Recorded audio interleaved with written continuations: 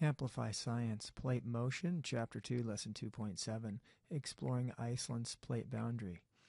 Uh, before we begin, I want you to know that this is the first unit in which we've run into the first lesson that will separate you into groups based on your critical juncture performance. So, this is something new.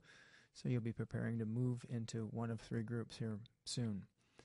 So, as all lessons, they begin with the warm up.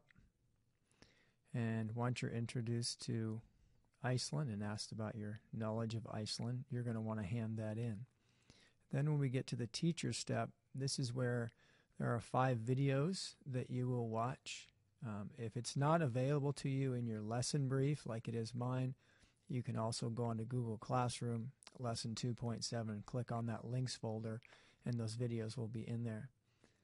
Uh, once we watch the videos, we move on to the modeling tool and this is where at the top of the screen you will be placed in either the blue group,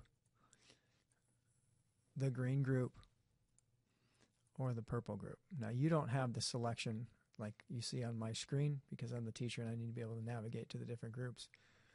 But uh, you'll have similar tasks in these steps, only you'll be given different information based on what you need to fill in the gaps that you didn't have on the assessment.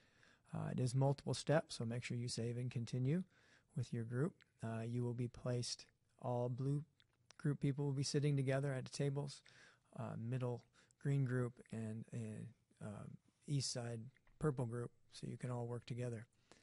Uh, then we return to the teacher step, but basically it just explains to you once again that you'll be doing homework based on your group, so it won't be identical for everyone. When we get to step three, the final step, uh, depending on your group again, You'll be asked to critique boundaries with different bits of information uh, and respond accordingly. So these are multiple step steps. Make sure you follow along. I can't give you exact number because it depends on the group that you're in.